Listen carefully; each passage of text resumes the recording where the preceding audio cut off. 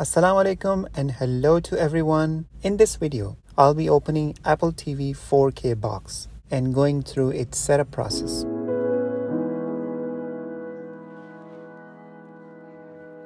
I had an old LG 42 inch HD 1080p TV in the basement. I moved it to my new office room. This is a dumb TV a non-smart TV. I could buy a Roku player or Chromecast that is about half the price of Apple TV, but to be part of Apple ecosystem, Apple TV is the better choice. I can browse all my photos, play Apple Arcade games, which is now part of the bundle, AirPlay any content from iPhone or iPad, and dedicate it as a secondary HomeKit hub.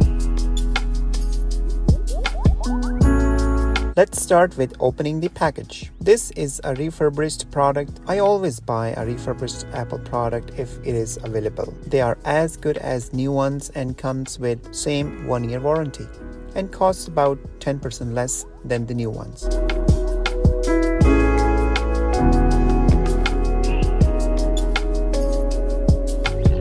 We have Apple TV 4K here,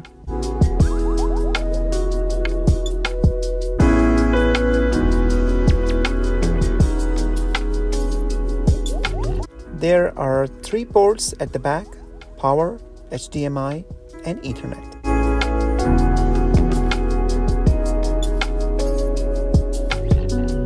Next, the remote. This is the second generation Apple TV remote with the top half touch surface, menu, home, Siri, play, pause, and volume control buttons.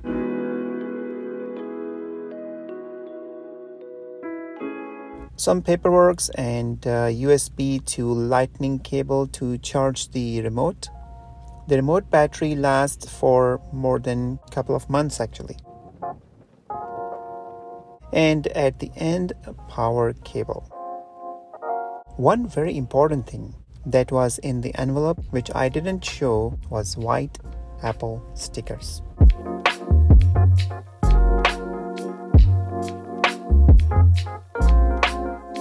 The setup. The setup is pretty simple. I did try with iPhone, but for some reason it didn't work. So I went ahead with manual setup.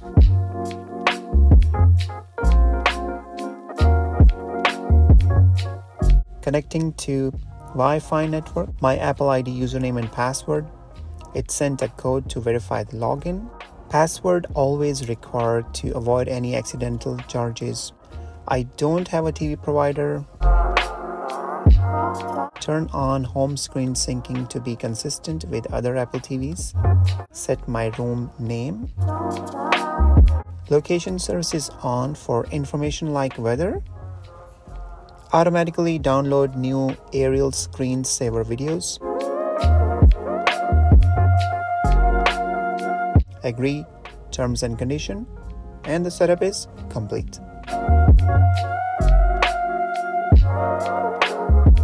Now it is downloading the apps which I have on other Apple TVs and syncing the home screen.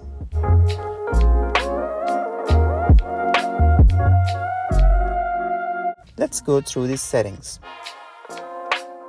First, let's go to General and About. So here is the information about the Apple TV, its model, serial number, TV OS, and etc. Next is screensaver. Type is aerial and uh, these are the 4k videos um, taken by Apple. Uh, you can select different themes landscape earth's underwater cityscape and I have set to download weekly one video and here is the preview. Appearance. I've set it to dark sleep after 15 minutes so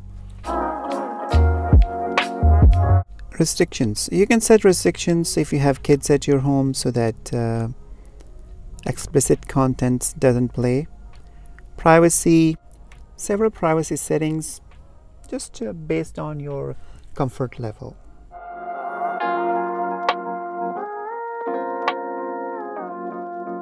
Manage storage so if you want to delete any app you can delete it from here and uh, it will show you how much space any app is taking. Background app refresh is set to on.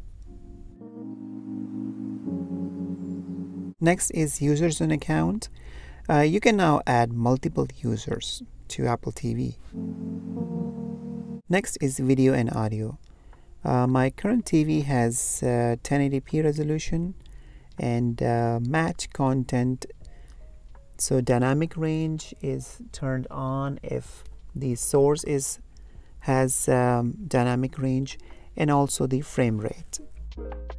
Different audio settings you can choose based on the needs and the kind of equipment you have then we have airplay and homekit so i'm just gonna finish the setup it's done now airplay is on and uh, HomeKit is connected.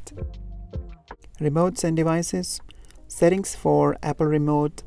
You can connect a Bluetooth device to Apple TV and etc. Different features for accessibility. Setting to enable automatic updates and install apps and etc.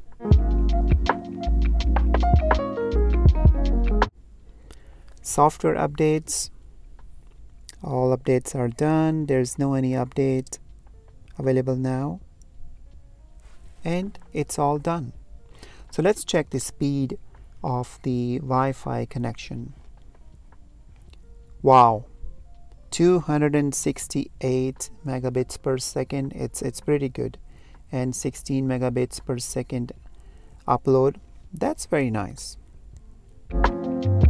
that was it. I hope you liked this video. If you haven't subscribed to my channel, then please do so. This encourages me keep making videos. Take care of yourself.